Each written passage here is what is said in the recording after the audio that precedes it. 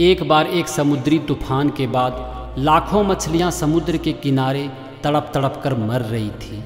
इस भयानक स्थिति को देखकर एक छः साल के बच्चे से रहा नहीं गया और वो बच्चा एक एक मछली को उठाकर समुद्र में फेंकने लगा। यह देखकर बच्चे की माँ बोली, बेटा, लाखों की संख्या में मछलियाँ हैं, तू कितनों की जान बचाएगा? चलो घर चलते हैं। यह सुनकर उस बच्चे ने अपनी स्पीड और बढ़ा दी। यह देखकर बच्चे की माँ फिर बोली, बेटा, रहने दे, कुछ फ़र्क नहीं पड़ता है। बच्चा ज़ोर ज़ोर से रोने लगा और एक मछली को अपने हाथ में उठाकर समुद्र में फेंकते हुए अपनी माँ से बोला, माँ, इसे तो फ़र्क पड़ता है ना?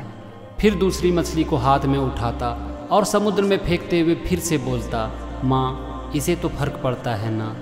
यह सुनकर माँ रुक गई और बच्चे को सीने से लगा लिया। फ्रेंड्स इस कहानी में एक बहुत बड़ी लेसन छुपी हुई है, जो कि हम उस छः साल के बच्चे से सीख सकते हैं। ज़िंदगी में जब भी हमारे सामने कभी बड़ी प्रॉब्लम आती है तो हम घुटने टेक देते हैं। उस समय हमारे अंदर एक बच्चा होता है, जो कोशिश करने से कभी पीछे नहीं हटता।